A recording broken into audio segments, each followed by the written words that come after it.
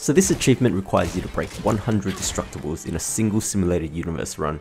The only way you're going to be able to hit this number is to use the Remembrance Path mechanic that allows you to copy domains to an adjacent location, and then apply that to the adventure domains in hopes of stacking barrel breaking challenges. Even if you're not able to max out the 30 barrel run every time, if you're lucky enough to duplicate a barrel breaking challenge roughly 4 to 5 times, you should be able to land this challenge with ease.